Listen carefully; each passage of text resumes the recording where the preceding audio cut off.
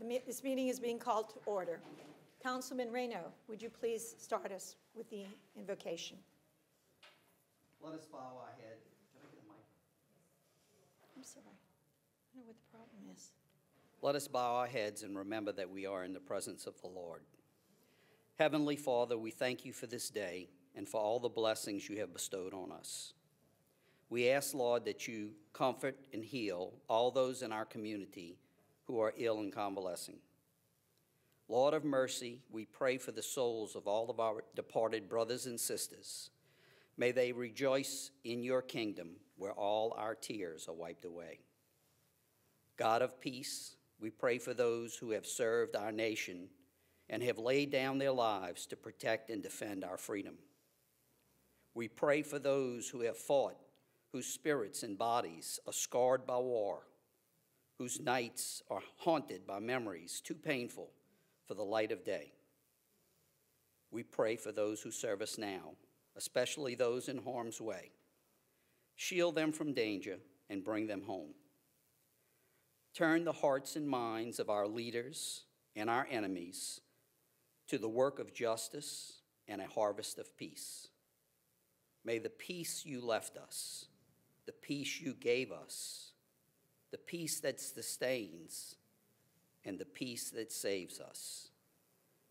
As is written in Isaiah 9 6 For to us a child is born, to us a son is given, and the government will be on his shoulders, and he will be called Wonderful Counselor, Mighty God, Everlasting Father, Prince of Peace.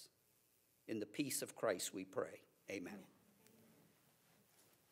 Councilman Sigur, would you please announce the young man who will be leading us in the pledge, please, and introduce him? Yes. Uh, As some of you may not know, I'm a uh, scout leader with Troop 223 here at the Kenner Lions Club next door, and I have one of the uh, young men from my troop here tonight. I'd like to call him forward, let him introduce himself, tell us what he's here for, and then he can lead us in the pledge. Hi. My name is Reagan Wallace, and I'm with Troop 223, and I'm here working on a requirement for my citizenship in the Community Merit Badge. Good. Please lead us in the pledge. I pledge allegiance to the flag of the United States of America and to the republic for which it stands, one nation, under God, indivisible, with liberty and justice for all. Thank you.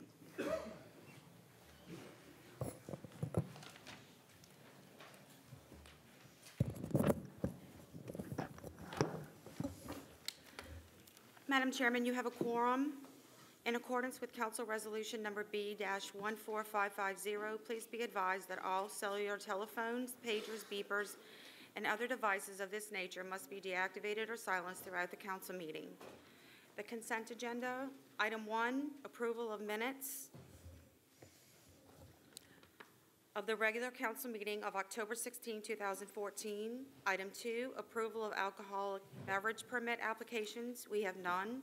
Item three, approval of bingo and public gathering applications. Item 3A, application number 1852-14, American Legion, Kenner Post 377, to hold a public gathering on November 14, 2014, from 6 p.m. to 7 p.m. for the purpose of a flag disposal ceremony at 3740 Florida Avenue, Kenner, Louisiana. Item 3B is application number 1853-14, American Legion, Kenner Post 377, to hold a public gathering on November 15, 2014, from 11 a.m. to 3 p.m. for the purpose of a kids' fair at Veterans Park, Kenner, Louisiana. Item four, correspondence reports from the mayor, CAO, and/or department heads. Item 4A, at the request of the administration, an introduction of the Tulane University School of Architecture, Tulane Region, Regional Urban Design Center, True DC, regarding an- a consulting agreement entered into between the City of Kenner and True DC for the establishment of design guidelines and other matters for the Rivertown Historic District. Would the gentleman representing the Tulane Regional Urban Design Center please step to the mic and introduce himself, please? All right. Madam President, if you don't mind. Oh, I'm sorry. That's okay.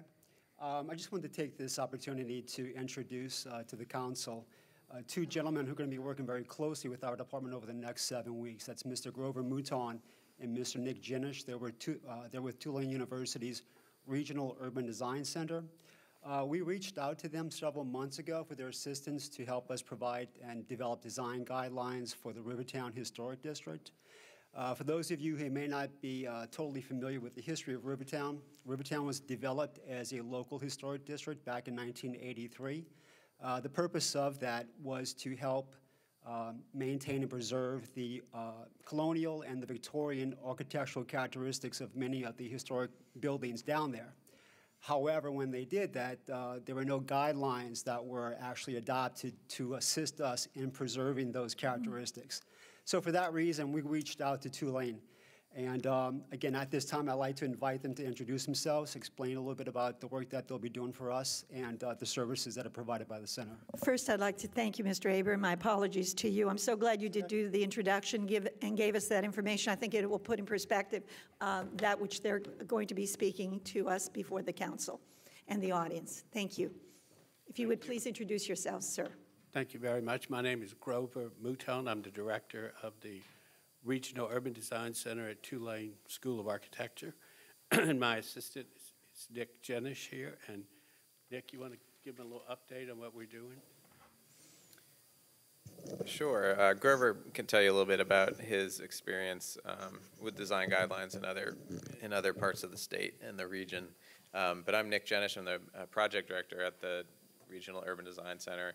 We do a lot of uh, outreach design work throughout the region. We work with a lot of cities and mayors um, in design matters, everything from wayfinding packages to um, park designs and other and other things like that. Uh, we're housed in the School of Architecture uh, at Tulane University's Uptown campus, and um, we're looking. Uh, we're working closely with the planning department and um, and the city to understand what our guidelines can can help the existing historic district commission um, in order to preserve the characteristics that, that Jay mentioned. And so the district at the district commission as it's set up already has legal teeth and has the ability to guide some of those uh, design decisions. Uh, but we're just trying to give that commission, and we've met with them as well, and we'll continue to do so, um, further guidelines and checklists and, and other things that they're able to use in terms of color palettes and architectural styles and other things like that that will help preserve the characteristics of Rivertown, but also uh, for any new buildings in the future um, to make sure they're in line with, um, with what's already there. Thank you. I think it's very important, again, uh, the work that you're doing to preserve our historic center, this, this very part of our city where our city actually did begin. So I think it's absolutely imperative. It's the jewel of the city and should be, should be save, saved for the future. Thank you. Mr. Hebert, do you have any other comments you'd like to make? Well, hopefully, when they, uh, they do put together some design guidelines for us, uh, we would like to incorporate those uh, guidelines into our new Unified Development Code, which will ultimately take the place of our comprehensive zoning ordinance. And uh, we're hoping that uh, that'll be adopted in the first quarter of next year. Thank you, Mr. Hebert. Councilman Impastato, you have the floor. Thank you guys for being willing to work with the city and help us in this. I want to make sure I understand this, and everyone does. This would be similar to we hear historic development commissions and things like that, where, you know, potential developments and things have to go and be approved and that sort of thing uh, before they can, can go forward, right? All with a line towards historic preservation. Is that essentially what's, what you're going to be developing? Okay. And, and just to clarify, historic preservation certainly, but um, even new, even new buildings, making sure that they don't have to mimic historic styles exactly. It's not that strict, but within the style, within the, um, within the realm of, of what's there, so appropriate to its context, Right. essentially. Consistent with the, the mission of the district. Exactly. Okay, thank you. Councilman, we, we've done these design guidelines for the city of Mandeville, which are in place. We review weekly, and we also did it for the city of Slidell, so, and other cities not in Louisiana. So we do have the experience. So what we're trying to do is give a base for the commission that exists to make evaluations to go forward on. Because right now, it's a little bit tough. If you don't have any guidelines to, to base your decisions on, then you can't make a decision either to accept or to negate it. Thank you, Councilman Impastato. Councilman Carroll, you have the floor.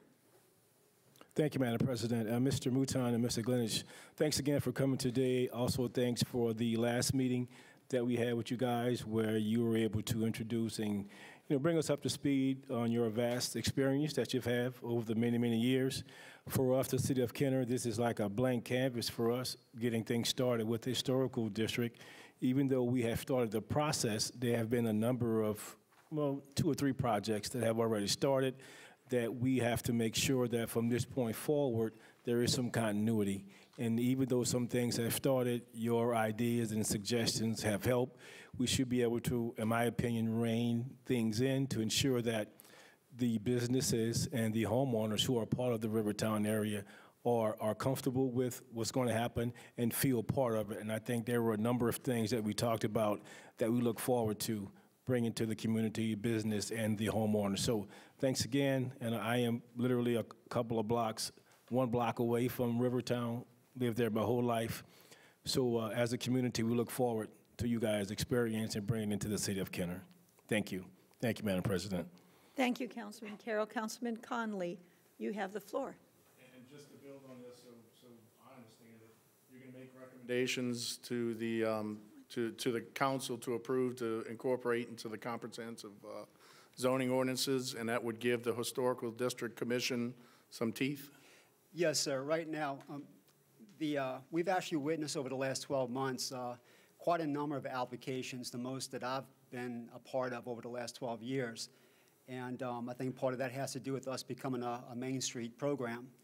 But um, one of the concerns with the Historic Commission is that when they do review an application and it involves exterior alterations to a building, they really have nothing to fall back on to determine if those architectural designs are consistent with the motif of the, of the district. So they, they brought it to, um, to my attention, and um, so that's, again, uh, we're, the goal is that they will uh, draft some design guidelines, perhaps some color schemes that we could adopt into our Rivertown uh, zoning regulations and hopefully uh, have them adopted soon. Right, thank you. Thank you, Councilman Conley.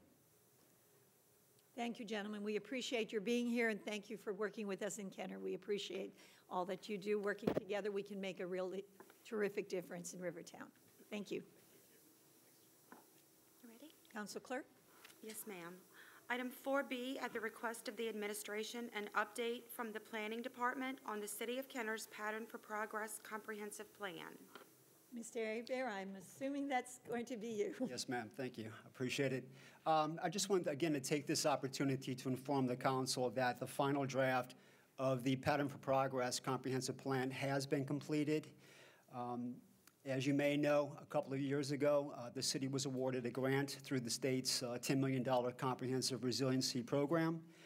Uh, That grant funded two things, uh, the establishment of a comprehensive plan and the, uh, the the creation of a unified development code that will replace our comprehensive zoning ordinance.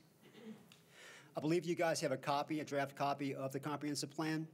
Following this meeting, we do plan to give uh, uh, copies to the Planning Commission, the Board of Zoning Adjustments, the Kenner Code Committee, and the Historic Commission.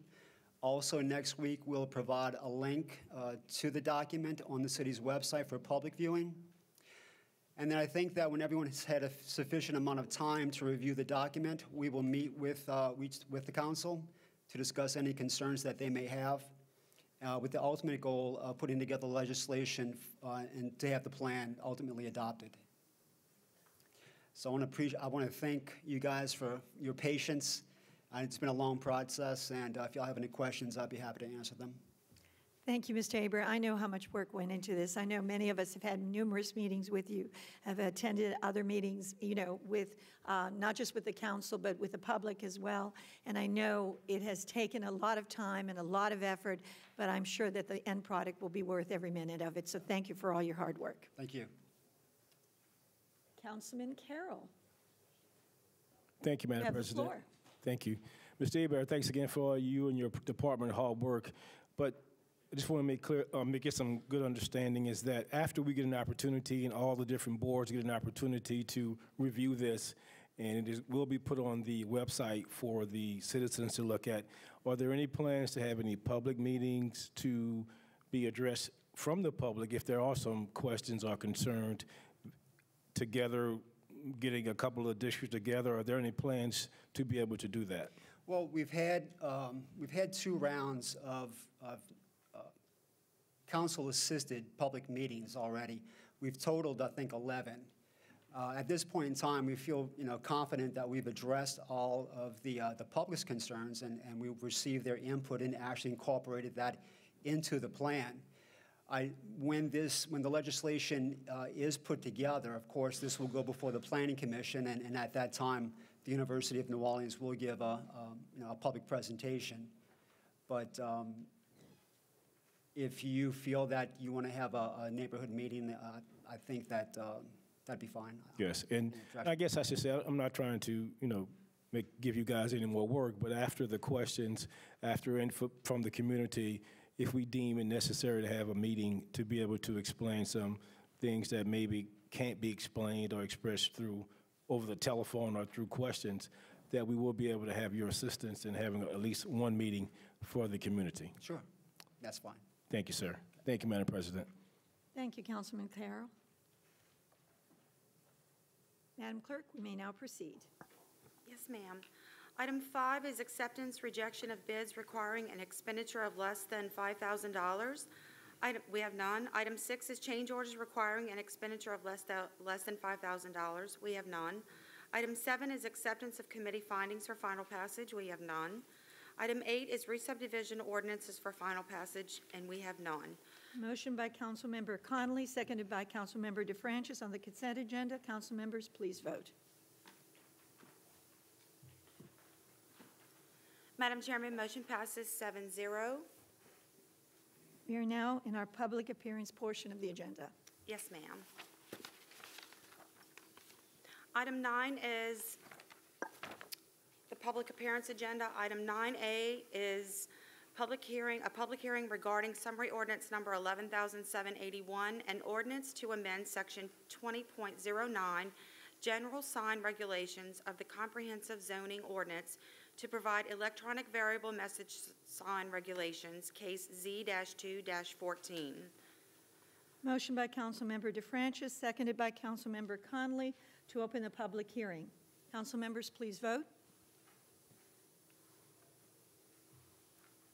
We are now in a public hearing. Anyone in the audience wishing to address the council may speak after the presentation by Mr. J. Hebert. Thank you, Madam President. The uh, proposed legislation is to amend the general sign regulations of the comprehensive zoning ordinance by adding a new sub- subsection that will regulate electronic signs. Um, Currently, there are no existing provisions in our CZO to regulate the signs. This is relatively a new technology, and there are more businesses that are utilizing this technology for advertisement purposes. Now, our goals in putting together these regulations uh, were to accommodate the use of electronic and digital technology and to improve the business visibility. It was to protect uh, residential neighborhoods from ambient light intrusion, to promote safety for motorists, to improve the visual appearance of the streetscape, and to put regulations in place that we felt were enforceable.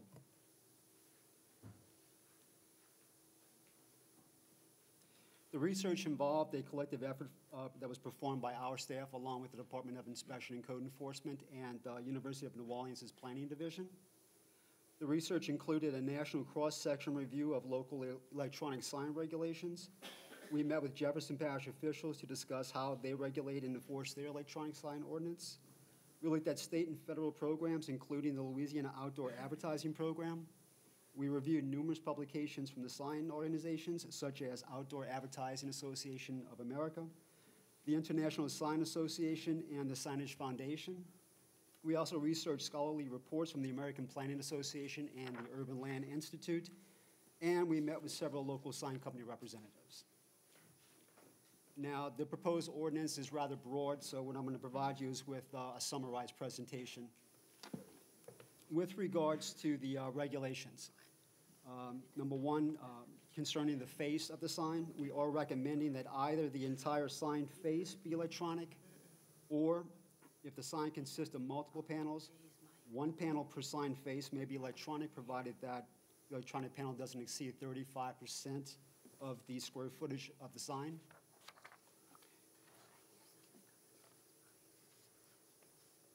In addition to that, the display of the message or image is to be static, which means that there's little to no movement on the screen.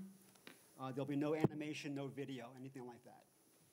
Along with the static display, we're recommending a dwell time for each image displayed of uh, no less than eight seconds, and that the transition between one displayed image to another be instantaneous, meaning there's no dissolving, no fading or traveling transitions. And the reason uh, being is that the transition does not really communicate the message. It's just simply a visual tool.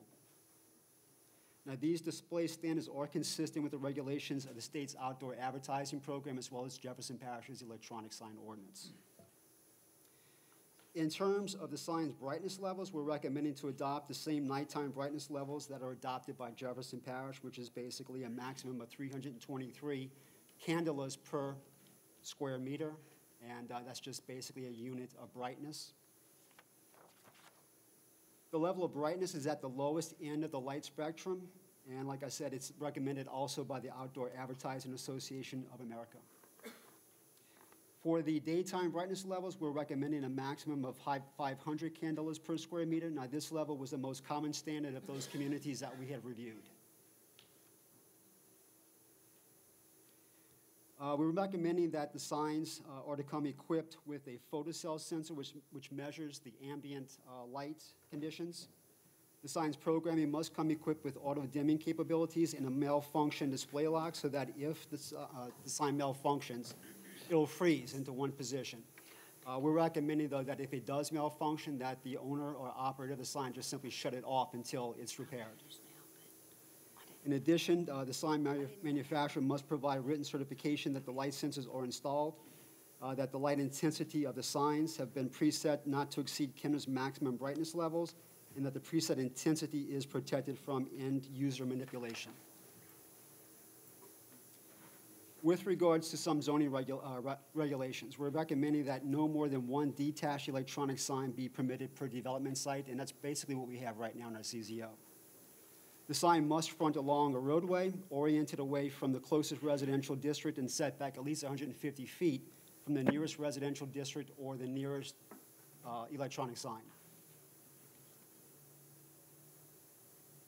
We're also recommending that the owner-operators of these, of existing signs uh, be allowed to convert to electronic signs once it's determined that all um, applicable requirements have been met.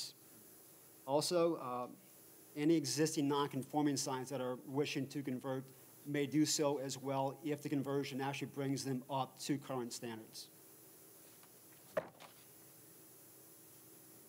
Now, signs containing an electronic panel are prohibited from being located in the city's residential zoning districts, with the exception of religious uses, public buildings, schools, and institutions, and that's provided that the signs meet specific criteria for each of those, including size, its orientation, its hours of operation, and its illumination.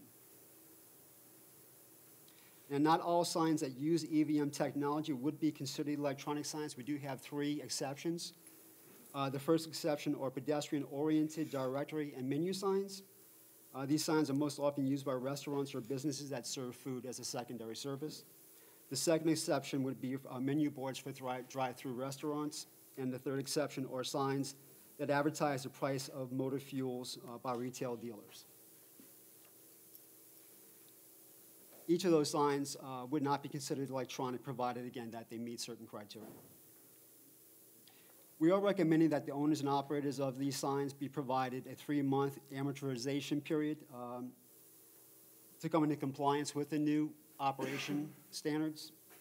Uh, That period would begin uh, at the date of the adoption of this ordinance. Uh, We believe that three months is a sufficient amount of time for them to come into compliance.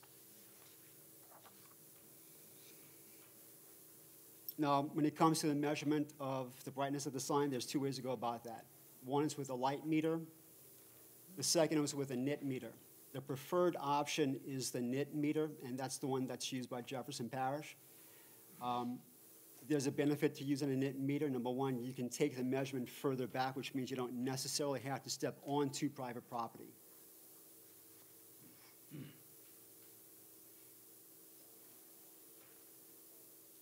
With regards to the enforcement procedure, the way that uh, Jefferson Parish carries theirs and the way that we, uh, we would conduct ours is that if there is a complaint or concern about the brightness of a sign, an inspector would go out to the site, and take three measurements using the nit meter. The average of those three would be the sign's brightness. If it's determined that the brightness level exceeds Kenner's brightness levels, a letter would be sent to the owner-operator, letting them know when the inspection took place, giving them a copy of the regulations, and then setting a time for a reinspection. Between the, uh, receiving the letter and the time that it's reinspected, um, we would hope that the, uh, the owner-operator would have sufficient time to actually reprogram it to come into compliance. At the reinspection, we would make that determination. It would be, the brightness of the sign would be measured again. Violations would follow same citation procedures as well. The Planning Commission did review this. They recommended approval. um, That uh, basically concludes the presentation. Um, I feel confident that uh, we did our due diligence. Um, But again, please keep in mind that these are new regulations, this is a new technology, and if it's adopted and the process is implemented, um, there's always a possibility that we may have to come back and make an adjustment or re- or revision, but uh, we're hoping that that's not the case. Thank you, Mr. Hebert. I'd like to remind every council member that we will have a discussion, the council members will have a discussion after we close our, um, our um, public appearance agenda. And I'd like to give the audience, anyone who would like to step up to the mic and make any comments at this time, you're welcome to do so. Seeing no one coming forward, um, I'd like to move to- that we close our public hearing. Um, Moved by De- Councilwoman DeFrancesch, seconded by Councilman Conley. Council members, please vote. Madam Chairman, motion passes 7-0 to close your public hearing. Now, we are, now, council members, um, anyone who would like to speak on the topic, please do so, at- please push your button at this time. I would just like to mention that uh, I believe Mr. Hebert did a great presentation. He answered every questions. We do have a mechanism in place, not only to determine if someone is in violation, I just wanted to point that out, as well as we have a procedure if someone continues to violate. So um, if anyone else would like to move forward and speak on this issue at this time, I will be happy to entertain. Councilman Klein, you are the first to speak. You tell me why the new proposal, uh, the signs are are not animated, that they have to be static, as opposed to some of the signs we see around are moving? Well, to give you an example of a, of a static image or a sign that's static, um, mostly all of your non-electronic signs are static. Uh, Manual reader boards are considered to be static, they don't move. Um, If you, I mean, again, it, it takes, it, it takes out the video, it takes out the animation, and from my department, we've received concerns about electronic signs where there's a video basically playing something out. Most of the, all, well, I'd say ninety percent of those uh, local government uh, electronic sign ordinances that we've researched, uh, they're static messages. All right, uh, would you explain to us the difference between the static, non-animated, and animated? Because a, a lot of folks don't know that. Static means that there's little to no movement at all. For instance, if you want to display the time of the day, it's going to stay stationary. There's absolutely no movement to that LED screen, as opposed to um, non-static, which would be just uh, almost like a TV, like, you're watching a TV screen. Uh, uh, movement of tumbling dice, something like that. That would be considered non-static. And the second question is, I know you said there were three exceptions, uh, the service stations, the traffic signage, and there was one other exception? Men, uh, menu boards for drive-through services, um, pedestrian-oriented directory signs and menu signs, which are normally attached to the facade adjacent to the main entrance into the building. And the third was, uh, yeah, retail dealers that, um, that sell fuel, such as your RaceTrac. All right. I'm a bit confused, and bear with me, but those three exceptions, are they accepted from the regulation, or are they accepted from static versus non-static? No, they are, they are, they're an exception to being considered an electronic sign, provided that they meet certain criteria. Right, so even those signs will be non, I mean, will be static, non-animated? That's correct, right. Right, okay, I just wanted to make that clear. Okay, thank you, Mr. Hebert. Sure. Thank you, Councilmember Cline. Councilman Reynaud, you have the floor. Thank you, Madam President. Uh, Ms. Vallow, I have a- just a couple of questions in regards to uh, um, compliance. Um, The nit guns. Yes, sir. Have they been audited Yes, sir. and training for that? Um, we're, we- we're getting the guns ordered first, and I'm gonna be relying heavily upon Jefferson Parish to give us some assistance with regard to that and contacting the company for ec- additional training as well. Okay. We have two different, um, th- the nit gun is a very specialized piece of equipment. I've only been able to find two companies that actually make that. That one company is called Gossen, and then Konica Minolta makes a gun that is comparable to the Gossen gun. The Gossen gun is the one that JP has used, and they've had great success. So I'd prefer to go with that Gossen gun simply because it's been in use in Jefferson Parish. Good.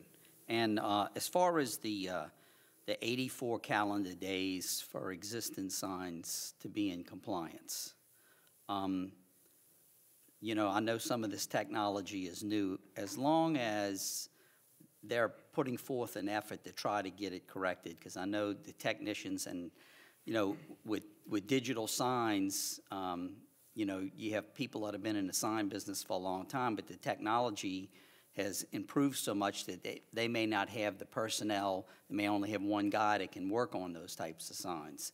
And if you get a bunch of people calling all at one time, you know, there's gonna be some backlogs. So, you know, basically, y'all gonna, as long as they're working to try to resolve it, y'all gonna work with the, uh, Yes, sir. the We- business we- We most certainly will be working with anybody that they need it. Oh, and you know, again, with the nit gun, we'll be taking three readings. Mhm. We'll take an average of those three readings, and we'll give them time to come into compliance. And if they need be, if need be, we can be present with them so that they can actually tweak the machine.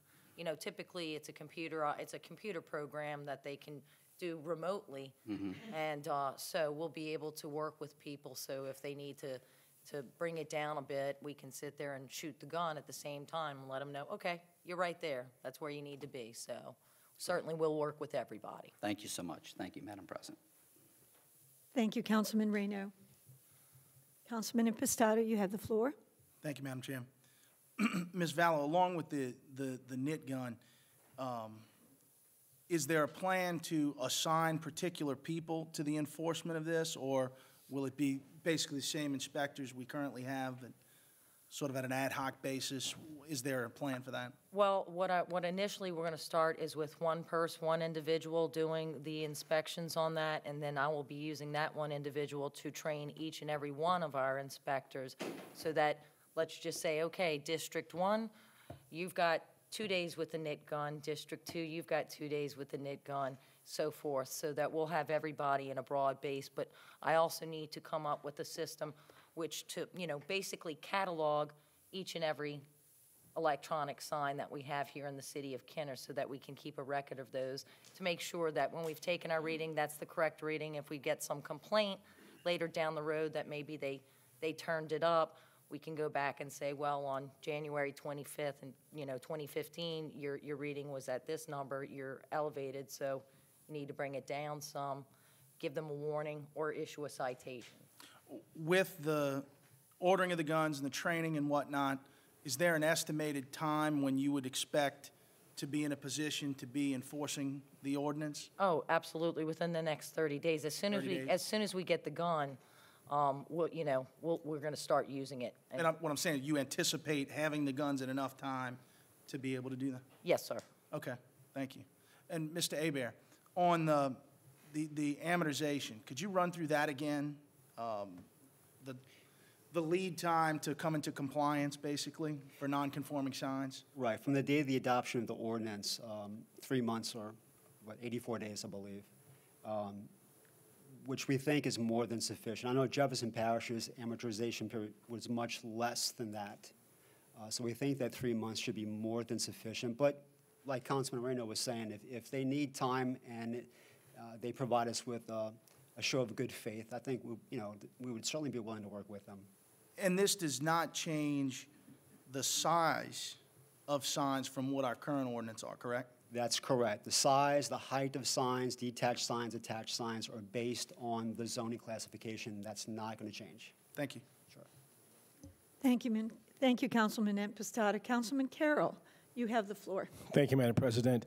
Uh, Mr. Hebert first and Ms. Valad, I want to first thank you for, for meeting me in my office a month ago uh, to answer most of my questions.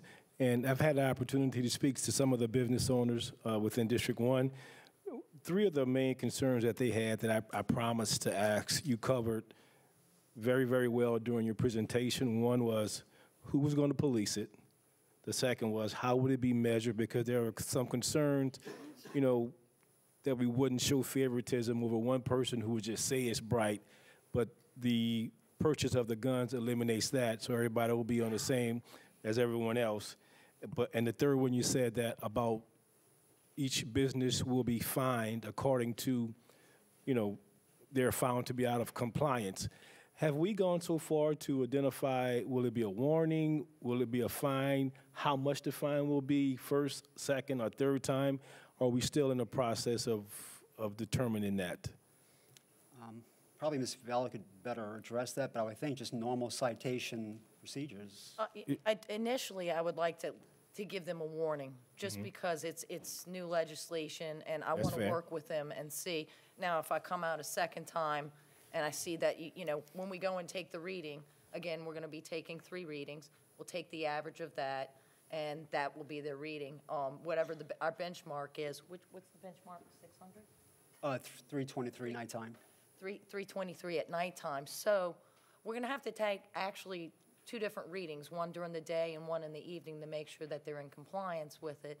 Um, If I have to come back a second time, most likely they'll, they'll be issued a citation and be handled through code enforcement court. Right, and as far as the, the amount of the fines, are we going to be pretty much in sync with Jefferson Parish? Or have you done a, you know, review of other parishes and to see exactly, to make sure that we're, we're fair, but also being Absolutely. within the uh, standard Most of the likely it would be more in line with Jefferson Parish in terms of the fines. Okay, thank you very much. Thank you, Madam President.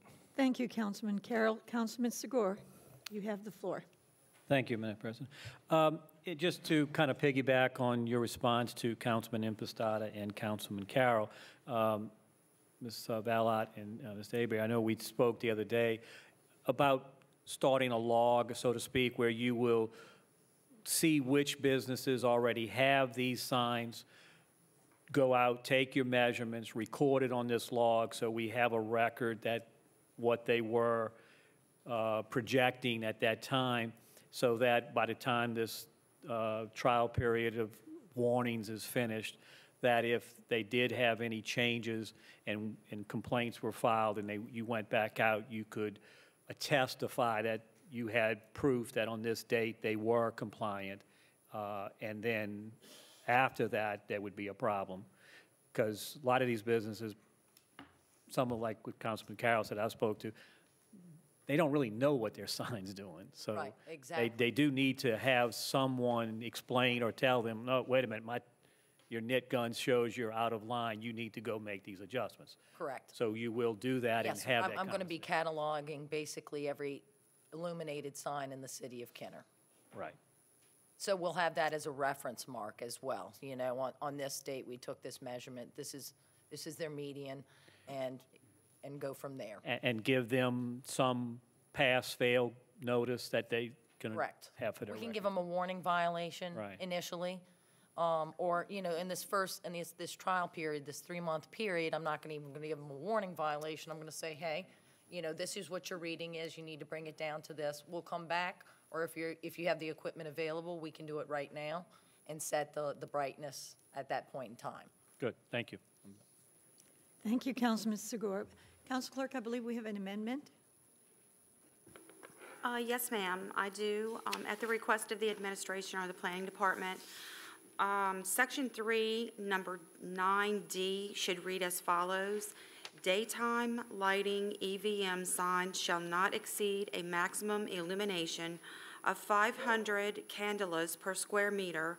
Also, the sign shall not vary in luminescent intensity. Can I get a motion and a second for the amendment? Moved by Councilman DeFrancesch, seconded by Councilman Conley.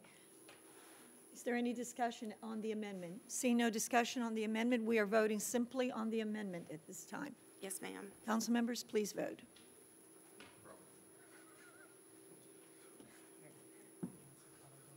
Madam Chairman, motion passes 7-0 on the amendment. We're now back to the original piece of legislation. I, seeing everyone has had an opportunity to speak, I'm simply going to close very, very quickly. I believe we've had a very good presentation by uh, Mr. Hebert from our planning department. I want to thank him for working so expeditiously on this. Um, At a previous meeting, we had talked about uh, how quickly we could have him put this ordinance together. Uh, He thought he was going to need a lot more time, but he worked very hard to address the, the needs of this council by working quickly to put this ordinance before us. Uh, I thank him for his hard work and for doing it so expeditiously. Um, I've spoken to many people who had some concerns because we didn't have any regulations in place. And now those concerns should be put to rest with this piece of legislation. Uh, So if everyone is now ready to vote, I ask our council members to please vote on the original legislation. Madam Chairman, your motion passes 7-0. Item 10 is opening of bids. We have none. Item 11 is reclassification of zoning for final passage. We have none. Item 12 is other ordinances for final passage. Item 12A is summary ordinance number 11,767, an ordinance designating and naming the Office of Inspection and Code Enforcement located at Building B, Suite 100, 1801 Williams Boulevard, Kenner, Louisiana 70062, the Matthew Junior Chiro Office of Inspections and Code Enforcement. Mo- Moved by Councilman Seg, oh, I'm sorry. We'd like to defer that for one more meeting. Oh, yes, sir. Mo- uh, Moved by Councilmember Sigur to defer for one meeting, seconded by Councilmember Conley to defer, to defer for one meeting. Council members, would you please vote?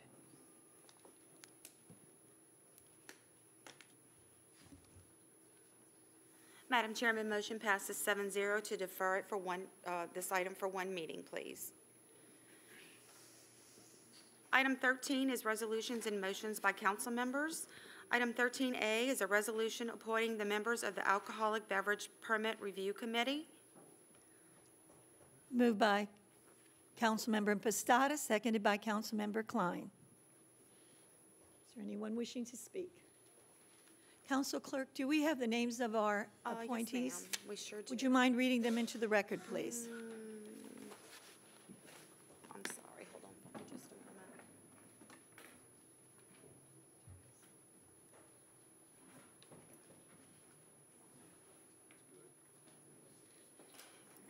Yes, ma'am. Um, Frank Compagno is the at-large Division A appointee. Scott Whitaker is the at-large B, Divi- Division B appointee. Charles Tony Jr. is for District 1. Juan Suarez for District 2. Al Borg is District 3. Ashley B. Jacobson is District 4. And Ed Lancaster is District 5. Thank you. Councilman Reynaud, you have the floor.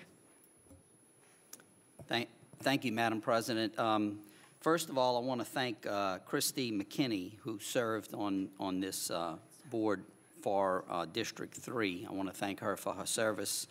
And I also want to recognize uh, Al Borg, who's here in the audience. Al, can you stand up? I want to thank you for committing to, to serve on this for us. We appreciate it. Thank, thank you so much. Thank you, Madam President. Thank you, Councilman Reynaud. Councilman Pistato, you have the floor. As a former member of that committee, um, I'm, I've worked with a couple of the people who are on it, and I think we have a good group. Um, I definitely hope that they will take this issue seriously, and to be candid, I, I I was part of a group that doubled the fines um, and increased the enhancement, and honestly, I hope they'll follow that trend, and, and I would ask the members of that committee to uh, take it more seriously. And to be honest, our fines have actually not been um, nearly what Jefferson Parish does.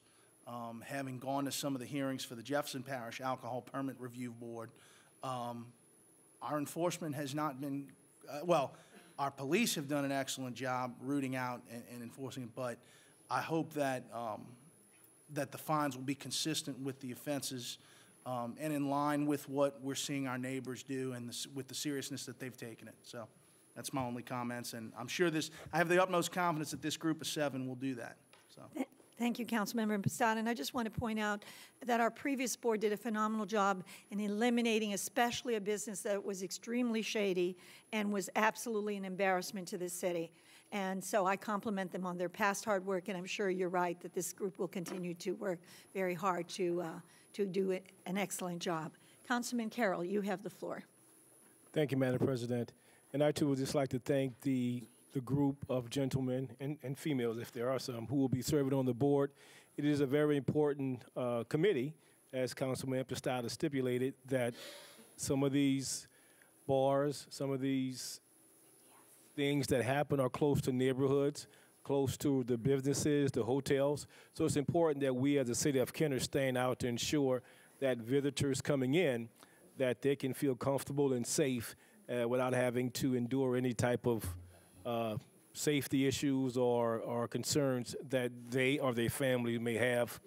I would like to personally thank Mr. Charles Tony Jr., who will be the representative of District 1, a young man, attorney. Look forward for him working real hard on this and uh, doing a great job. Thank you, Madam President. Thank you, Councilman Carroll. Is there anyone wishing to speak? Seeing no one else wishing to speak, council members, please vote.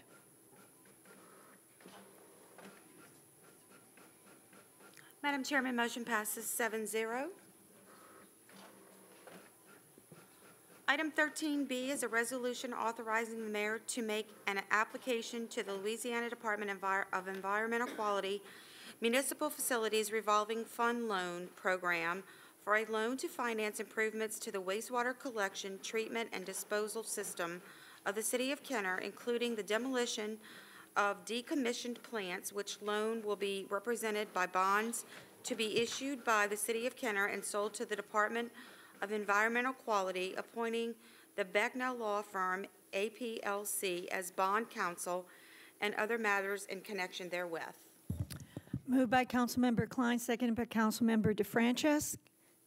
Councilmember Cline, would you like to speak on this issue? Would you please push your button? Thank you. Give me a second. Particular to District 4 is, is needed. The old sewage treatment facility near Chateau Estates Country Club has been vacant since the 1990s.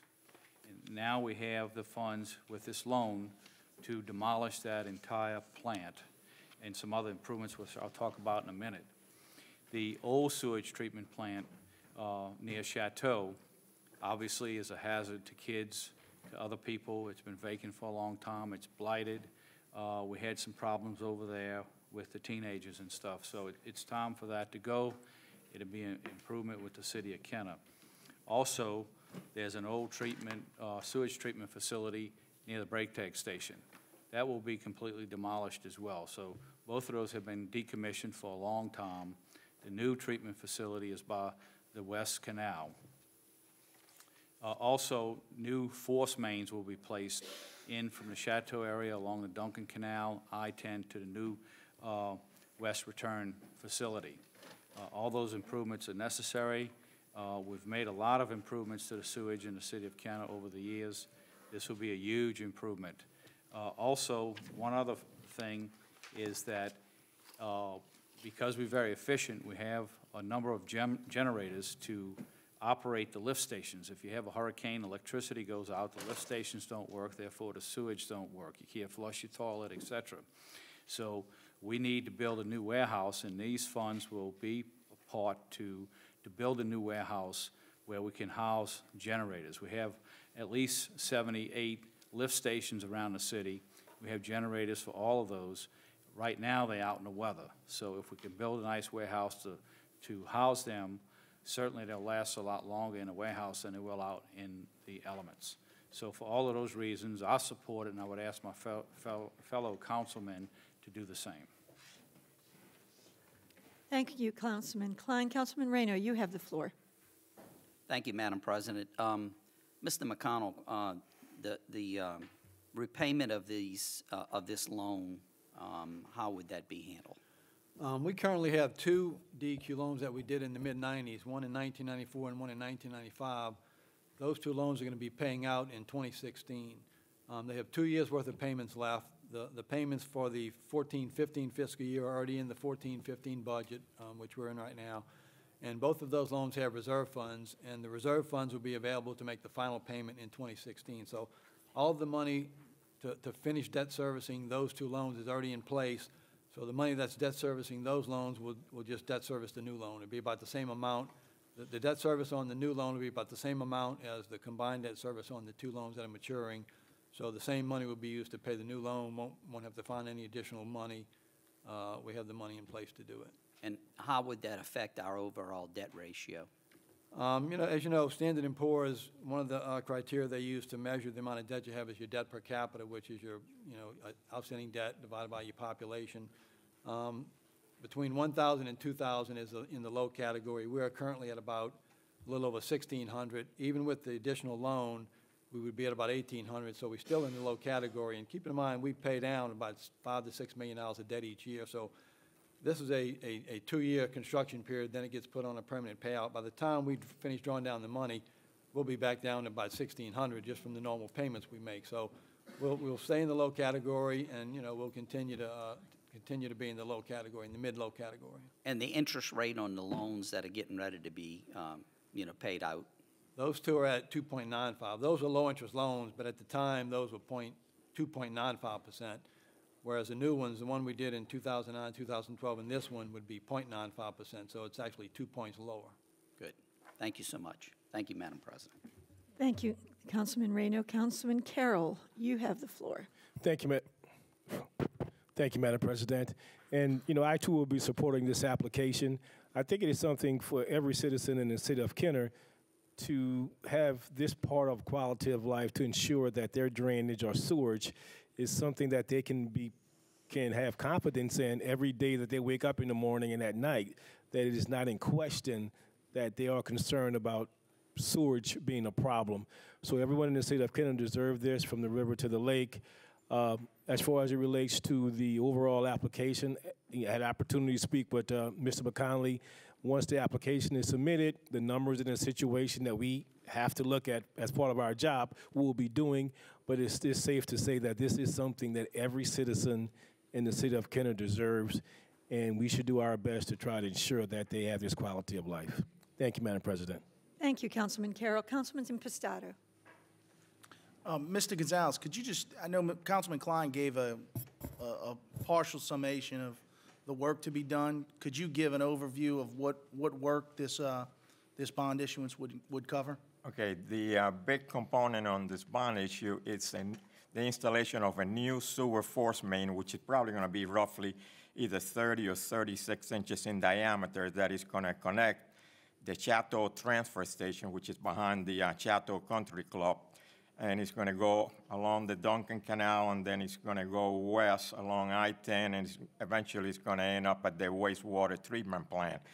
The force main that is in place out there right now is roughly 25, 30 years old. It used to handle treated sewer from the Chateau Transfer Station to the wastewater treatment plant. That's not happening anymore. Right now, it's handling untreated sewer. So the lifespan of, of that pipe that is in place right now is, is near the end of the lifespan, and it has created some problems for us.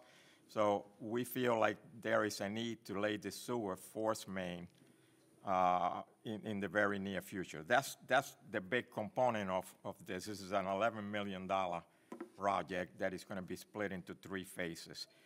The other one is the demolition of the plants. Uh, that's the one at Chateau, and, and that's the one by our Public Works Department. That's roughly about a $1.7 million component. And, and the final one is the construction of a warehouse to house uh, the generators that are exposed to the weather right now and, and the ones that we intend to purchase through potential grants that, you know, we, we feel like we can secure in the, in the near future. Thank you. Uh, Mr. McConnell, my understanding is these are, these are major improvements. Are these the result of that DEQ compliance order? Yeah, the whole program uh, started as a result of the compliance order. So wh- what this will do is give us the rest of the money we need to do the rest of the, the projects to, to, to finish the program and, and hopefully get out from under the order. DEQ will not tell you till after you do the improvements and they look at it, uh, what they'll do, but uh, what we've been told is, you know, they've approved the program and once these improvements are made, we should be able to get out from under the order. And am I correct when I say that the measures that were taken in, pla- taken place, put into place in 2010 by the council at that time and the administration with the surge charges will hopefully alleviate the need for this kind of major overhaul in the future, correct? Yeah, what we're hoping is that, um, you know, once, you know, we, we did the, the four-year increase, the last increase was last year, and now it has a CPI on it so that the revenue will keep pace with what we need. So, you know, once this program's done, we should have money on an annual basis to, to do ongoing improvements so that we don't get back into this situation. And that will prevent us from having to do, that. this is a, this is to finish that process, so we hopefully won't have to do this, this again for the surge system, right? Yeah, We'll we're have the funding mechanism in place. Right, we're hoping that from that point on, the, the money we'll have available on a regular basis will keep up with the projects we need to do. Okay, thank you. Thank you, Councilman Impustatus. Councilman Sigur. Thank you, Madam President.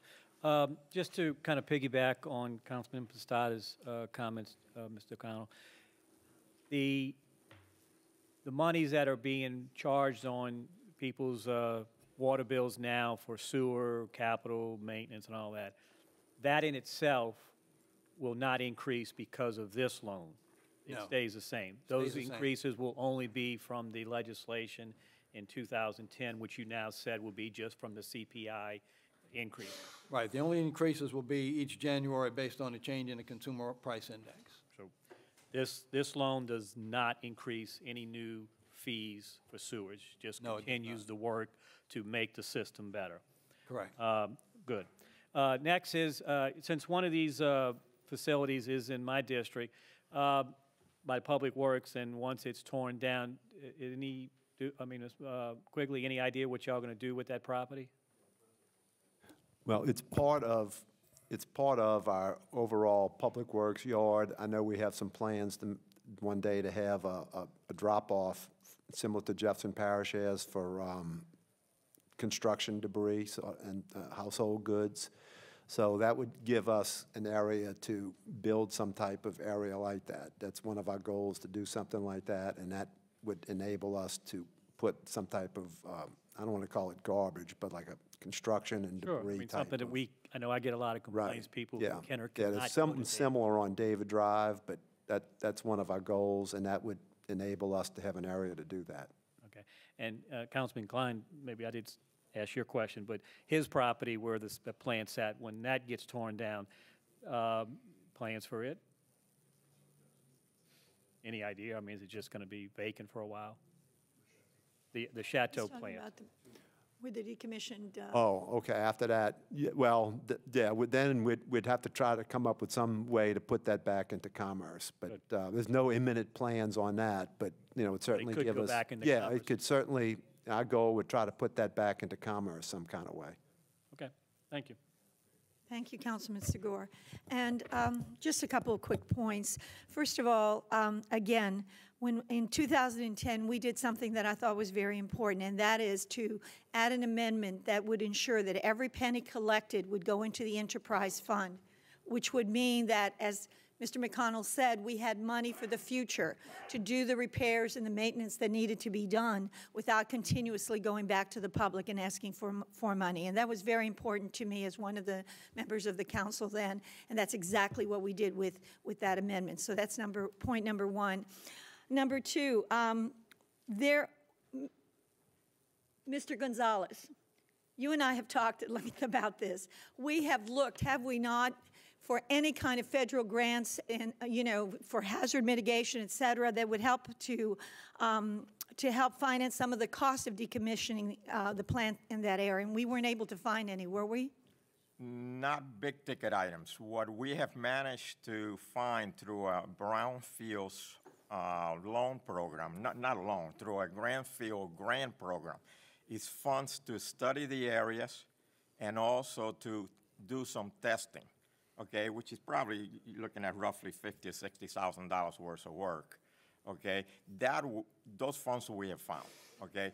Now we will continue to to look for grants Absolutely. to demolish those plants. If we are not successful, then we're going to have to use these funds to do that.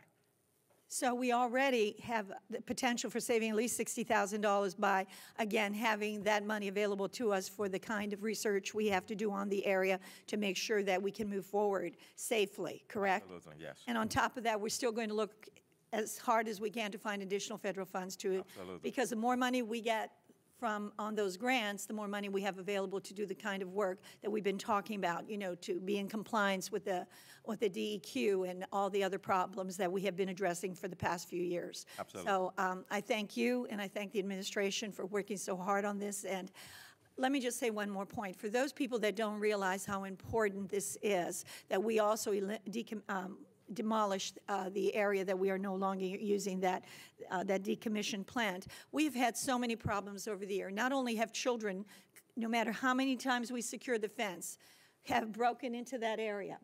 Um, Councilman Reynaud called me one day and he said, Maria, there's a geyser in the air. There's water spewing everywhere. I went out there myself there were holes everywhere in the fence where the st- where you know young children had broken through the fence and water was spewing everywhere. By the time I got, I, I was able to get there, the water was turned off, but that was a continuous problem.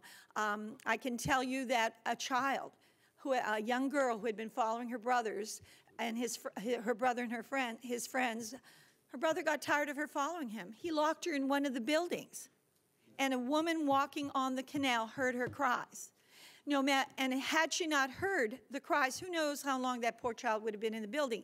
And we keep building up the fence. We've put, uh, we've put as much, you know, of a chain link fence as we can. We've put a wooden fence, but kids keep going into areas that are, you know, really an attractive nuisance. And a decommissioned plant acts as an, as a nuisance for them, an attractive nuisance. Am I not correct, Mr. Jose Gonzalez? Absolutely. We, we have fixed that fence numerous times, and we have taken care of graffiti also a number of times. The area as it exists is, is a liability for the city. And the graffiti is horrendous. And I can tell you that Councilman Conley, too, when he was running for office, so many of the people with whom he had spoken had mentioned the problem at, in that area, as well as to Councilman Cline and myself. So, but it's not just that area. We're also talking about the force main. We're talking about the warehouse. So this is uh, this particular resolution that we're asking, um, uh, that we're giving authorization to the mayor on which to move forward will address all of those issues. So uh, again, thank you for all the hard work and thank you for this council for being so supportive. Council members, seeing no one else wishing to speak, please vote on this resolution. Madam Chairman, motion passes 7-0. Item 13C is a public hearing regarding a resolution authorizing the City Council for the City of Kenner to hold a public hearing to determine whether or not the buildings located at 3708 Connecticut Avenue, Kenner, Louisiana, should not be repaired or demolished. Councilman Reynaud, moved by Councilman, motion by Councilman Reynaud, second by Councilman Sigur. Councilman Reynaud, if you could push your. Mr. Hebert, are you doing a presentation? No? No, not yet. This is to set it for a public hearing for the next time. And Councilman Reynaud, you have the floor. Um, I just, I want to thank uh, our code director, uh, Amy Vallo, for uh, all her hard work, and, and we've been working on this for quite some time now, so thank you, appreciate it. And I hope I can get the support of the rest of the council. Thank you, uh, Madam President. Thank you, Councilman Reynaud. Council members, please vote. Madam Chairman, motion passes 7-0. Item 13D is a public hearing regarding a resolution authorizing the City Council for the City of Kenner to hold a public hearing to determine whether or not the buildings located at 1805 Lloyd Price Avenue, Kenner, Louisiana, should not be repaired or demolished. Moved by Councilman Carroll, second by Councilmember Cline. Councilman Carroll, do you wish to say anything on the topic? Therefore, seeing no one wishing to speak, council members, please vote. Madam Chairman, motion passes 7-0. Item 14 is items removed from the consent agenda. We have none. Item 15 is acceptance of contracts and similar matters approved by the mayor.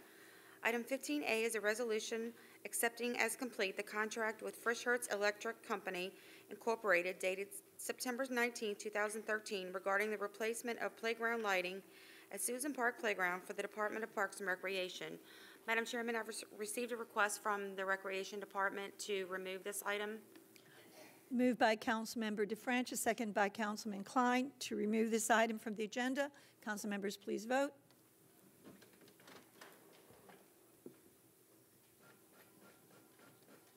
Madam Chairman, motion passes 7-0.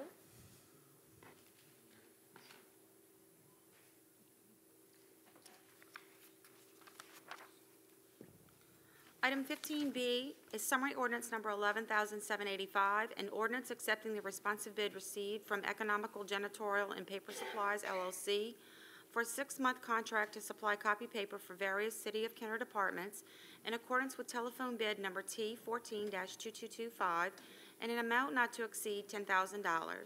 Moved by Councilman Conley, seconded by Councilman Carroll. Council members, please vote. Madam Chairman, motion passes 7-0. Item 15C is summary ordinance number 11,786, an ordinance accepting the responsive bid received from, from Professional Construction Services Incorporated in an amount of $43,149 for removal of the old Laketown wooden pier in accordance with seal bid number 14-6242 for the Department of Parks and Recreation. Moved by Councilmember Reynaud, seconded by Councilmember Conley. Councilman Reynaud, do you wish to speak? Seeing no one wishing to speak, council members, please vote.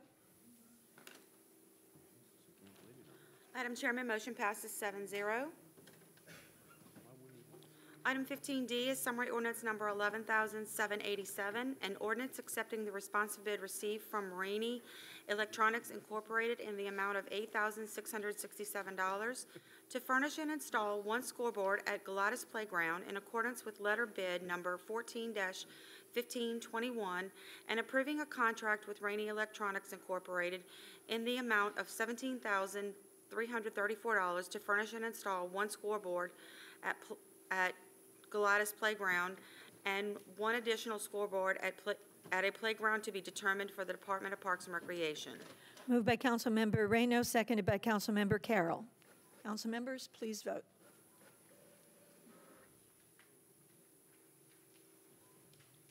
Madam Chairman, motion passes 7-0.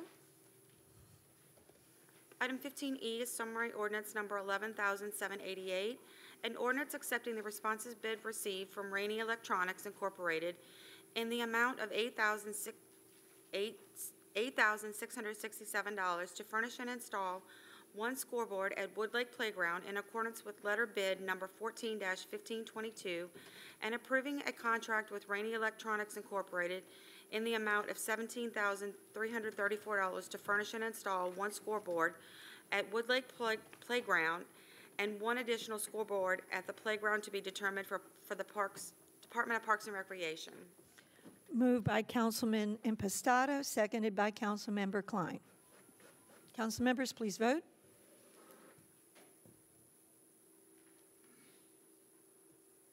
Madam Chairman, motion passes 7-0. Item 15F is summary ordinance number 11,789, an ordinance accepting the lowest responsive bid received from Rotolo Consultants Incorporated, doing business as RCI, for a two-year contract in the amount of $61,094 for the Lake Town Median Landscape Maintenance Program, Vintage Drive to Lake Pontchartrain Levee, in accordance with seal bid number 14-6240 for the Department of Public Works. Moved by Councilman Reynaud, seconded by Councilman Sigur. Councilman Reynaud, would you like to speak? You have the floor. Thank you, Madam President. Uh, Mr. McConnell, the, uh, the cost of this uh, contract is to be paid out of what account? Out of the uh, hotel motel tax, uh, Lake Town, The, the Lake Town account? yes. A- And the total for the two years is 61,000. So it's roughly $30,000 a year. Correct. Okay, I just wanted to get that on the record. Thank you. Thank you, Madam President. Thank you, Councilman Reynaud. Council members, please vote. Madam Chairman, motion passes 7-0. Item 15D G is a resolution approving change order number one final to the contract with BLD Services LLD dated January 22nd, 2014 regarding the Yellowstone Street and Platt Street Lift Station and Force Main Project, which reduces the contract amount by 9373 and adds an additional 21 calendar days to the contract time and accepting the project as complete for the Department of Public Works. Moved by Councilman Impastato, seconded by Council Member Carroll. Seeing no one wishing to speak, council members, please vote. I think it's sixty-one thousand. Madam Chairman, motion passes 7-0. Item 16 is ordinances and resolutions in summary for first reading. Item 16A is an ordinance approving the cooperative endeavor agreement with Jefferson Parish Economic Development Commission, JEDCO, for services related to increasing economic development in the city of Kenner and related matters. Item 16B is an ordinance authorizing a public hearing and a budget amendment to approve Amendment number one to the fiscal year 2008 Home Investment Partnership Grant Allocation from the Jefferson Parish Home Consortium to the City of Kenner for the Department of Community Development. Item 16C is an ordinance authorizing a public hearing and improving budget, and approving budget amendment number one to fiscal year 2009 and 2010 Home Investment Partnership Grant Allocation from the Jefferson Parish Home Consortium to the City of Kenner for the Department of Community Development. Item 17 is reports from the council and/or special committees. Thank you. I I have a report. Actually, I wouldn't even call it a report. I have a few uh, words I'd like to share with the, uh, with the audience and with people at home.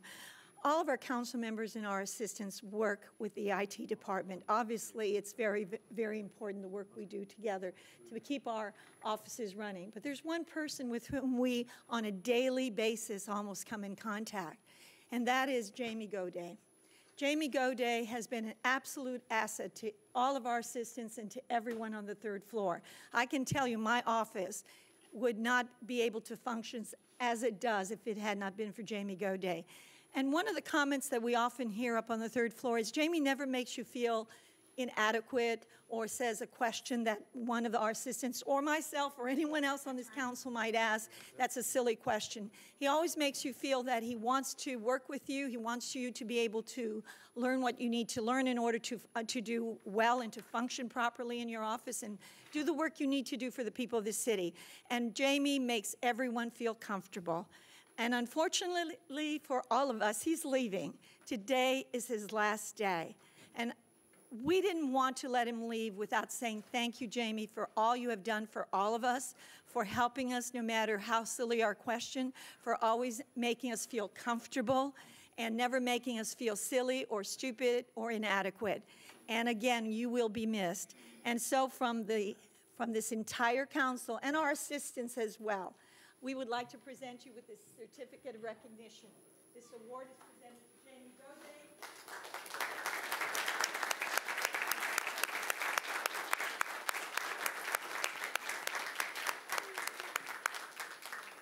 Hi,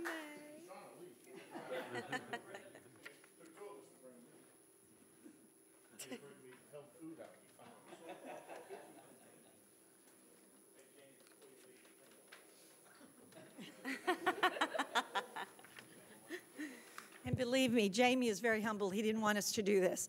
When I told, I, I didn't tell him that I would embarrass him this way by making him come out here to receive the award. But we wanted him to know that we truly do appreciate everything he's done for all of us and that he will be missed. Thank you, Jamie. Madam Clerk? Yes, ma'am. Item 18 is new business. We have none. Sorry, would, you- I apologize. I believe some other people would like to say a few words as well. Thank you. Councilman Reynaud. Th- Thank you, Madam President. Um, I just wanted to remind everybody and, uh, that there's a uh, a shrimp boil on the lake uh, tomorrow, um, sponsored by the uh, Treasure Chest Casino and, and the city of Kenner. Um, $10 for uh, a plate of uh, boiled shrimp with uh, all the fixings. And um, the other thing I just want to, I want to thank uh, Natalie Hall, our uh, council clerk, um, for these great little tablets that, uh, that we now have our agenda on. Uh, Great job, uh, her and the IT department uh, putting this all together. So now we don't need these paper copies. Of course, I have a paper copy because this is the first one with this, so I said, give me both of them. But uh, we'll be able to do everything off of this, so thanks, Nat. Appreciate it. Thank you, Madam President. Thank you, Councilman Reynaud. Councilman Impastato? Good job, girl. Come on. There we go. Yes, uh, everyone may remember a couple of months ago, the mayor uh, got a nice chuckle uh, when he was challenging the council for his ice, ice water challenge, which six of the seven councilmen uh, bailed on. Um, But that's, that's, oh, five of the seven, excuse me, Councilman. I did not, and the mayor got an absolute charge out of the one that I did, which was an absolute debacle. Um, As I was trying to raise money for an organization called Jay's Defensive Line uh, for my cousin, who actually is a Kenner resident in District 5, um, who is also fighting ALS. Well, I'm pleased to announce that this Sunday, it was apparently so enjoyed by the nation that this Sunday on America's Funniest Home Videos, uh, ABC Channel 11 at 6 o'clock, uh, you will get to review, view again my Ice Bucket Challenge so the nation can laugh at the councilman in District 5 as well. So, uh, so enjoy. What time is it? 6 o'clock Sunday on the ABC, uh, WGNO, the ABC affiliate. And so after you watch, you should feel guilty and go to Jay's Defensive Line and donate to the organization. Thank you. Councilman, thank you, Councilman Impastato. Council Clerk, would you mind giving Councilman Sigur the mic before Absolutely. we move on? Thank you. There you go. Thank you. Uh, Just to uh, respond a little bit, I I agree that uh, we accepted the challenge, and we have been working to try to get all of us together at some point. Of course, you know how hard that can be with scheduling and all the activities we all participate in for us to get together. So we are still uh, working on that. But I, but I do have a, a, a particular date in mind. I've been told by the weather station that uh, I think it's January 4th. The temperature is projected to be around uh, uh, 32 degrees. So we're going to shoot for that day, and uh, so we can one up the others. Thank you. Thank you.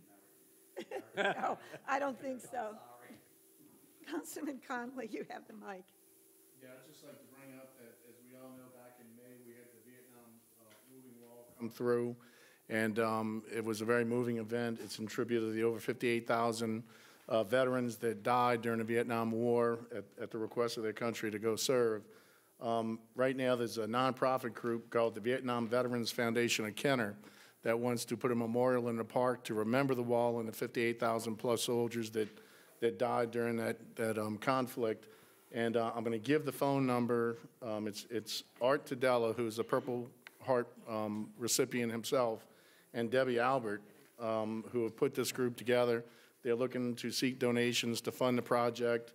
Um, The phone number is 504-915-5950, or you can call here at City Hall and we'll give you the information. But it's a worthy cause. They're working hard at, at raising funds, and anything you do to help would be appreciated. Thank you, Councilman Conley. Councilman Carroll, you have the floor. Thank you, Madam President. And I would like to first thank Councilman Sigur for straightening up Councilman Impastato by implying that we bailed on it. And it was just a little miscommunication. But, you know, we may not be able to get on television, but we are going to go through with it. We'll look forward to that. But uh, I would also like to thank the City of Kenner, the recreation department, and all the parents and children, young men and young ladies that participated in the recreation department. This past Saturday, again, we have what we call Super Saturday at the Muss Bertolino Playground. It was a great event for all of the football part of the recreation department. And just to call out the different age groups for the champions for the seven and eight was from the Green Lawn Playground. The nine and ten was from the Buddy Lawson Playground, and the eleven and twelve was from the Lincoln Manor Playground. All the teams, even the ones who came in second, played fantastic. It was a good day, beautiful weather. Look forward to next year, the next sport that's coming up. But I also would like to invite everyone to come out. I'm not sure of the date. Maybe someone can help me for the young ladies that will be participating in the cheerleading competition. Does anyone have that date for the competition for the cheerleaders? Mr. Go, uh, oh, there you, go. thank you there. will be the 11th of this month, and I'm sure everybody will get their invitation in the next few days.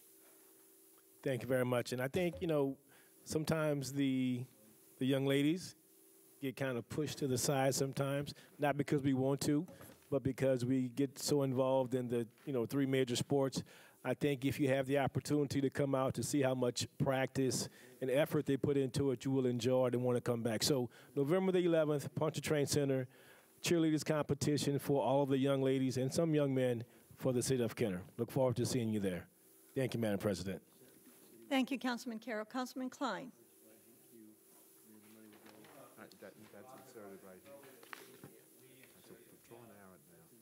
Celebrated Veterans Day. We had a ceremony behind the City Hall, and they had the uh, military band was there.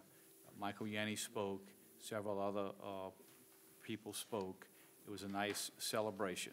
So I just wanted to tell everyone, advise everyone, the City of Kenner supports all the veterans, and we look forward to having this memorial uh, in place. Thank you, Councilmember Cline. And I'd like to remind everyone that we have a farmer's market in South Kenner. Uh, We would be delighted to have you uh, go to South Kenner and see what we have to offer. Um, For our children at the Esplanade Mall on December the 6th, there's breakfast with Santa at 8:30.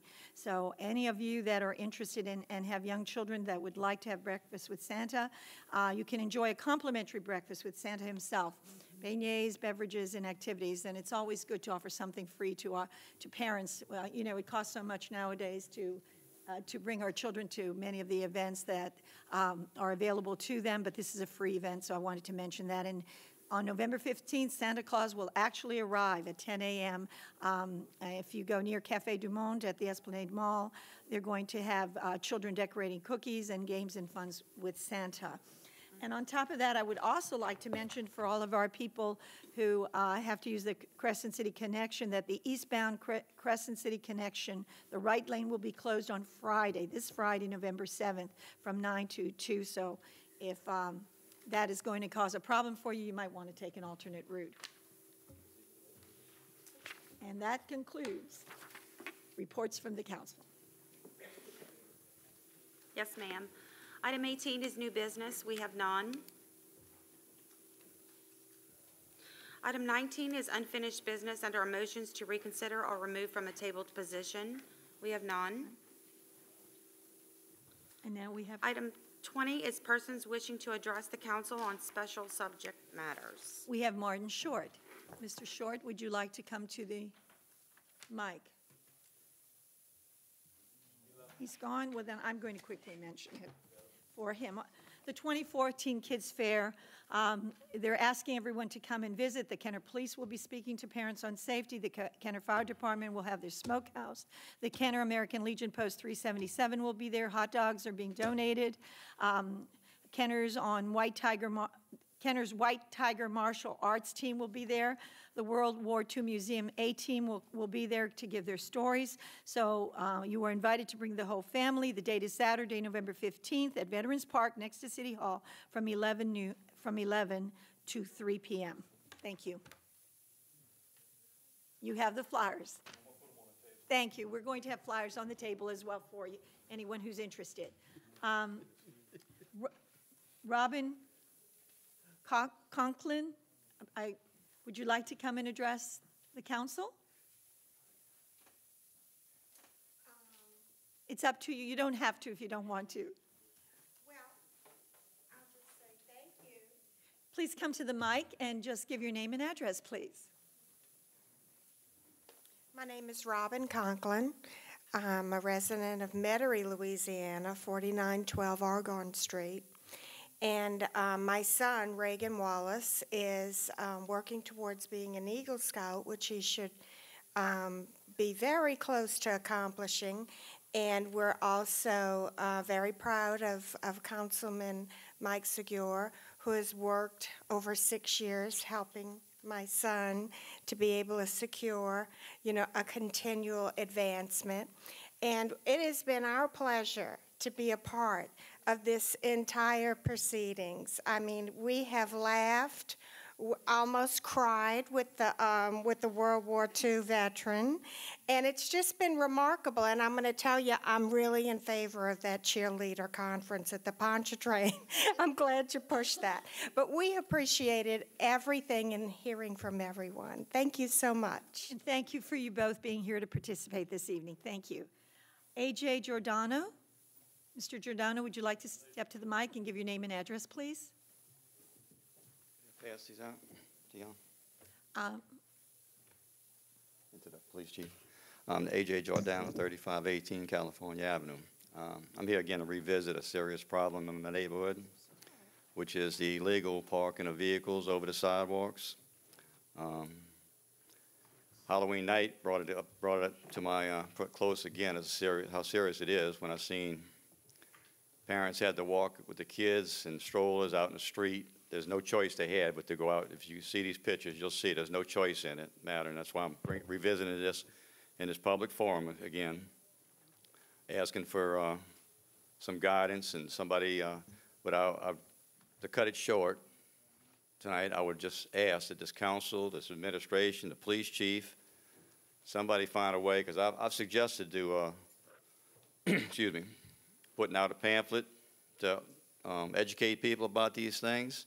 Um, Code sweeps, I've suggested. I mean, there's, there's got to be an answer to this situation. This is, this is really blatant now. It's out of control, and it's dangerous. It brings down, you know, your, your uh, property values, along with the safety, every, you know, this is just uncalled for. It's a law. And I just want to know, somebody's got to have an answer for this and work together and somehow push this through and get these people educated. Because, believe me, I've had people cited.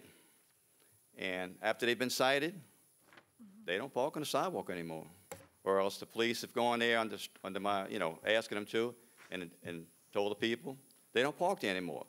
But they need to be educated and tell them that there's going to be consequences if they don't do it. But we just, so far, you know, this has been over a year now. This has started in July 2013 when I first pushed this issue with the mayor, when I first met with him.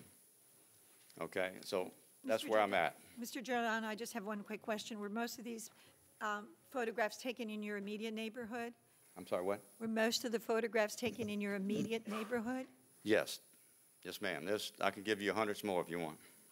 Thank you, Mr. Giordano. And uh, we do have a code committee working on a lot of these issues, and uh, um, our police uh, chief has pictures as well, and I'm sure he'll look into Well, it. Well, I've sent emails. I haven't had a response back yet. Uh, I would just appreciate that somehow we work towards this, and it's again, And you're right, it is a danger for our children if they have to walk into the street, and our children should always be our you see primary the pictures, concern. no doubt, there's no way they have to. Thank you so much, sir, for coming to this council. Mr. Al Morella, would you please step to the mic and, and uh, give your name and address? Al Morella, 4260 East Loyola Drive, 5th District, 42 years. Um, I want to commend, I want to start off, I want to commend our Civil Service Board for the decision they rendered uh, to reinstate one of our employees who was wrongfully terminated. Uh, I attended every one of those hearings, and for the benefit of the people of Kenner, I would like to say what was on display during those hearings. The ruthlessness, the vindictiveness, and the incompetence of this administration. And as a result, once again, the citizens, the taxpayers of this city, are on the hook for legal fees, which I understand could go as high as six figures. Okay? Now, I hope the message that was sent from this decision rendered by our Civil Service Board was that we expect our employees, our employees, to be treated with respect and dignity. Now, I want to, I got a comment for you, Councilman Impastato. At the last meeting, the topic of, my topic of discussion was that catastrophe waiting to happen on that bridge by my house with that natural gas line running alongside of it. Now, since that last meeting, nothing has been done physically anyway, unless you have something in the works that's, that's being discussed that I don't know about. And if so, I'd like you to bring me up to date on that. And, you know, maybe, you know, uh, going by an article I read in the Times Picayune, maybe uh, the priorities in District 1 on issues in District 1 may be a bigger priority for you than the issues in your own district, which is District 5. So now, if there is anything in the works to, to, to take care of this catastrophe waiting to happen, I'd appreciate an update. Anybody got any comments, any questions for me? Councilwoman DeFrancesch, he can respond. Uh, I got any time left or what? Uh, Yes, sir, you have, a you have about 10 seconds left. He can respond while I'm up here? I, I would like you to finish any other comments you have, sir. That's all I have. Okay, then, since you have completed your questions, I will allow Councilman Thank you. Now to to have the floor. Thank you, Mr. Morella. Ms. Councilman Impastato? in response to the issue of the, the natural gas pipeline, uh, remarkably, in the last two weeks, we've not been able to solve that problem. Um, Anything you want to know about what's going on in District 5, my door is always open, Mr. Morella, just like it is to everyone. You have my cellular phone number, as do all 15,000 people in District 5, since I gave it out about 17 times during the campaign. It's on my business card at the city. Um, I check the, the call log at my office here at the city for any calls, which you never call the office, I don't know why. We had a town hall meeting the other night where we discussed everything going on in District 5. I failed to see you there. I would have been happy, and I still remain happy to advise you of everything that's going on in District 5 whenever you would like. Um, I understand that the media was not there to report on each of those instances, so maybe that's why you didn't attend. But to suggest that I, my priority is not to take care of our district is simply a misinformation and just a matter of not really understanding what's really going on. But I would absolutely welcome any opportunity that you want to talk about what's going in our, on in our district, including the $2.1 million of projects that I spent about 30 hours this week working on to improve our district. Again, all of that you would have known. I don't blame you. You would have known had you taken any of the opportunities to actually talk to me about what's going on in our district rather than coming to a public meeting and trying to make a spectacle where your goal is really not to gain the information. But I'd rather you take those opportunities. I'll spend as much time as you want, Mr. Morella. Come to my house and have a cup of coffee. Okay? We could fit 15,000 in my backyard, maybe. Okay? We'll take everybody can come get a cup of coffee. Uh, ask Mr. Daigle. We got good coffee at my house, don't we? All right, good. Come on by, okay? I'd love to have you, all right? Thank you, Councilman Impastato. Mr. Quigley, did you wa- wish to Uh, speak? Just to, just to follow up what the councilman said in regard to the bridge, uh, last meeting, um, Mr. Morella greatly exaggerated what could happen with that, that, that bridge and with that, that pipeline. We- Matter of fact, we, met- we had a meeting with um, the gas company, Louisiana Gas, Atmos, and it's literally impossible what he described, various subdivisions blowing up and everything like that. In the history of gas in this country, nothing of such has ever happened, and they assured us that it's literally impossible entire subdivisions to be blown up, as he described. He, he named about four or five different subdivisions within the city of Kenner that could blow up, and that's literally impossible. So, you know, there's, they, they assured us that even if anything happened, that there would be not, no be, there not be an explosion, and it can be readily, the gas can be shut off readily. So this, this greatly exaggerated um, explosions that Mr. Morella told to the council last week is literally impossible. So we, we do not have these concerns. Thank you, Mr. Quigley. Uh, There's a gentleman, I assume, who didn't have time to sign in because he came a little bit late. Sir, if you could give your name and address, I'll let you speak. Thomas Griffin, 3701 Martin. I'm sorry. Thomas Griffin, 3701 Martinique Avenue, Apartment B, Kenner. Yes, sir? Uh, I live in a condo. It's on private property, but I'm having troubles with my uh, neighbor who happens to be the uh, uh, I'm disabled. Okay. Physically and neurologically. Yes, sir? Okay, my my neighbor who's parking, who used to park uh, three feet away from my front door, has uh, is having a meeting. Oh my! This is gonna take some time. I wish I could have have it. Uh, she's the uh, president of the condo association.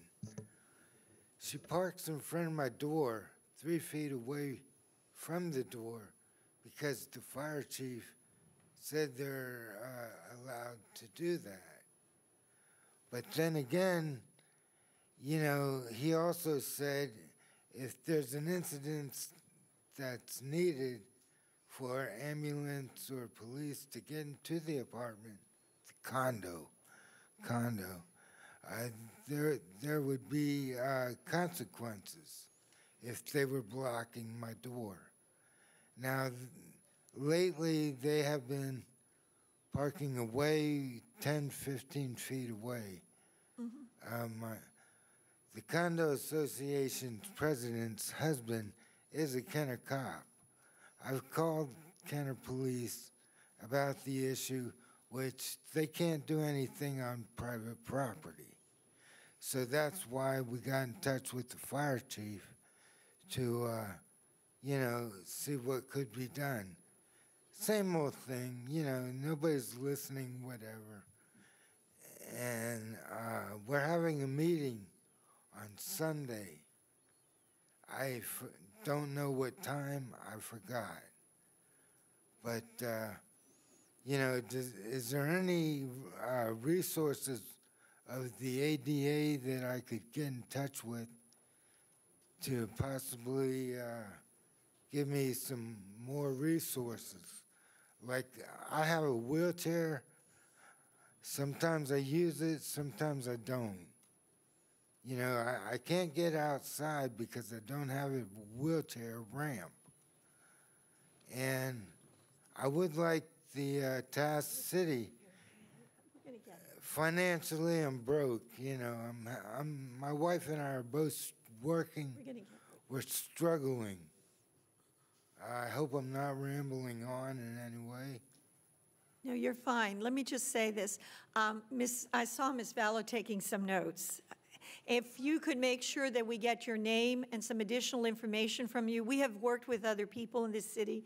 I can tell you very honestly that we have done, that I'm so proud of some of the work this city has done um, to try to help those that have some problems that need to be addressed, those who have, you know, neurological problems like yourself, as well as our handicapped, and perhaps just trying to, um, you know, mediate and see what we can do legally. So if you could pass that information on for just give a minute of your time at the end of the meeting with Ms. Vallow, I will check with her as well and get the information to the other council members, and we'll see what we can do to try to help you, sir. Thank you.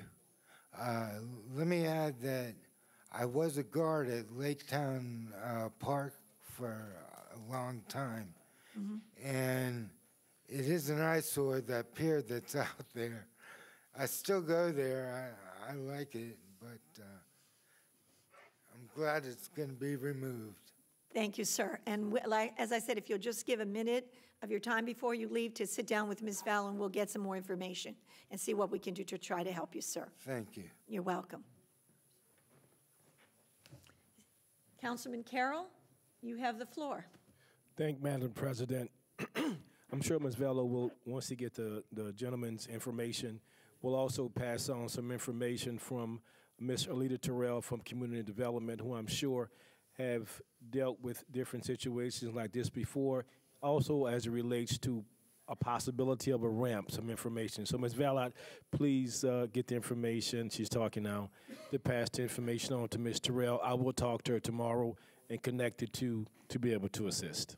As I said, once we get the Thank you. information, we'll make sure it gets to the prop, to the uh, proper person that can actually address the problem. Thank you, Councilman Carroll. Councilman Sigur. Thank you, Madam Chair. Uh, I'd just like to also comment on the exaggeration of neighborhoods being blown up by a gas rupture.